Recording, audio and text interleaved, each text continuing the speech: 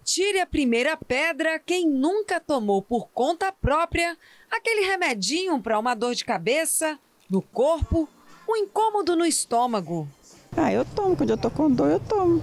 Algum remedinho sim, tranquilo. É. Uhum.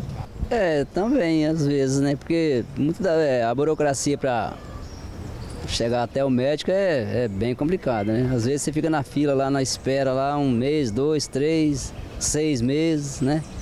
Aí, Vai na farmácia, compra um remedinho e resolve. É, sim. Automedicação, um hábito comum entre os brasileiros, mas que pode trazer muitos riscos. Para orientar a população dos perigos da automedicação e também sobre o armazenamento e descarte correto dos remédios, foi realizada uma ação de alunos e professores do curso de farmácia da UFES para falar sobre o assunto. O evento aconteceu em frente ao Hospital das Clínicas em Maruípe, Vitória.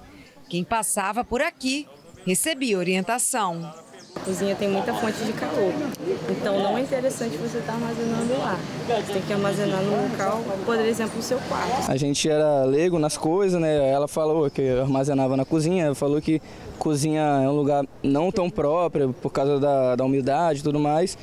Mas agora, né, com as novas orientações, aí a gente fica mais esperto, né? Panfletos também foram distribuídos. Segundo dados do Conselho Federal de Farmácia, 77% dos brasileiros fazem uso de medicamento sem qualquer tipo de orientação médica. Além disso, 18% das mortes por envenenamento podem ser atribuídas à automedicação. A gente destaca hoje a necessidade de que a automedicação ela exista sim, mas desde que ela aconteça dentro de um processo de acompanhamento do farmacêutico. Então, se eu estou com uma dor de cabeça, estou com uma dor de barriga, eu preciso comprar um medicamento, eu vou até a farmácia, eu procuro um farmacêutico, eu converso com o farmacêutico, ele analisa os meus sintomas e dentro dessa análise ele vai entender se isso é um problema que eu posso resolver naquele momento na farmácia ou se eu devo encaminhar para um médico. Uma atitude que pode mascarar outras doenças. O uso irracional desse medicamento, uma automedicação sem uma orientação prévia de um profissional, pode fazer com que a gente mascare um sintoma de uma doença mais grave. E aí o farmacêutico ele está sendo treinado, ele é capacitado para dentro de um processo de anamnese, né, de conversa com o paciente, de avaliação do paciente, ele identificar se esse problema pode ou não ser tratado ali. Agora, você sabe como descartar um remédio que sobrou ou venceu? Mas alguns outros medicamentos né, que já venceram, em todos aqueles que já venceram, eles devem seguir para o descarte. E qual é a forma de, adequada desse descarte hoje? É a gente fazer um processo reverso. Então esse medicamento que chegou até o consumidor, ele veio de uma indústria e ele precisa retornar para a indústria. Então aquele medicamento que não está sendo mais utilizado ou que venceu, ele deve retornar para a indústria. E como é que as pessoas fazem isso? Levando até a farmácia ou até as unidades de saúde. Jogar no lixo comum ou pia e vaso do banheiro também pode ser um risco ao meio ambiente. Né? Quando o medicamento ele vai para o vaso sanitário, ele alcança o esgoto, por exemplo, do esgoto ele chega ao rio e aquela água que está no rio volta para a gente com o processo de contaminação. Tá? Então volta no alimento que foi regado com aquela água, volta na água que a gente bebe. E será que a população sabe como deve fazer? Quando está vencido, eu jogo no lixo direto.